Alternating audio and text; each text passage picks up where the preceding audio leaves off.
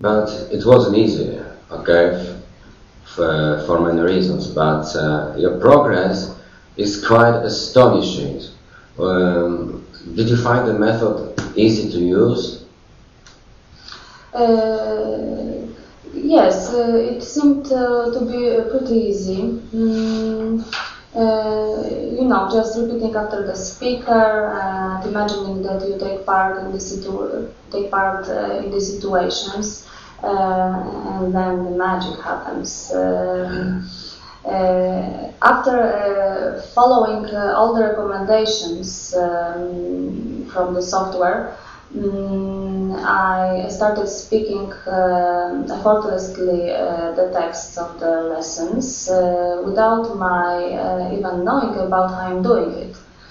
Uh, I, I've studied uh, the software, uh, this software uh, about um, a year, and uh, my uh, competence in speaking uh, has grown uh, tremendously.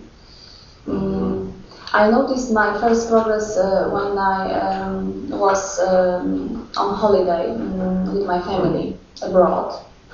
Where was it? It was uh, in Egypt.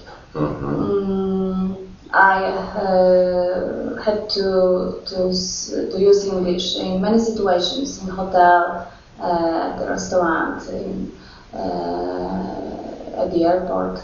Mm, and uh, it was a good opportunity to prove to yourself that I can speak English.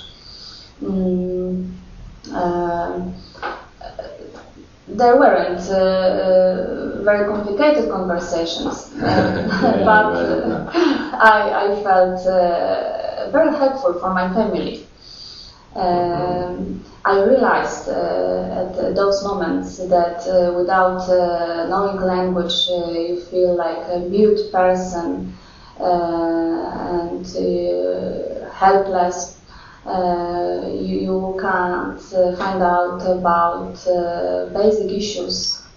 And I I remember um, my husband was uh, quite surprised and, and said, uh, mm, uh, just like that, uh, uh, finally I see that we don't uh, lose our money to your English lesson. it was very nice. Mm, yes, but